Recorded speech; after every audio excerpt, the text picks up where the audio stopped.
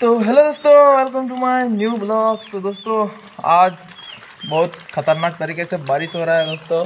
देख सकते हो पूरा इधर साइड से।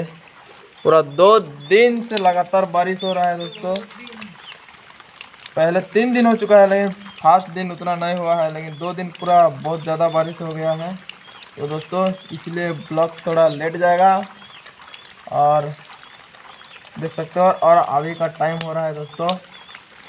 वही नौ बज रहा है। तो देख सकते हो, कहीं जा नहीं पा रहे हैं और कुछ काम भी नहीं हो रहा है दोस्तों। काम बहुत ज़्यादा है, लेकिन काम हो नहीं पा रहा है।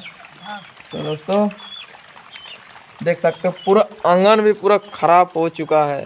देख सकते हो, इधर भी पूरा कादो हो चुका है दोस्तों। यहाँ हमारा बकरी भी आज नहीं निकाले हैं, क्योंकि बारिश हो रहा है, इसलिए हम लोग नहीं निकाले हैं बकरी। तो दोस्तों, इस साइड आके अभी मैं खड़ा हुआ हूँ। यहाँ छाता को भी रख दिया हूँ दोस्तों। और क्या ही बोलें, पूरा साफ़ बेकार हो रहा है। दो दिन से ऐसे ही सोते सोते मन नहीं लग रहा है, थोड़ा काम करते तो अच्छा लगता। तो दोस्तों, चलो, आज के लिए इतना ही दोस्तों। तब और और एक चीज़ बताना है दोस्तों, मेरा मोबाइल डेड हो जाएगा। लगता है आज दिन भर भी रुक पाएगा कि नहीं। लाइन भी काट चुका है और चलो वीडियो अपलोड कर दूँगा तो सही है।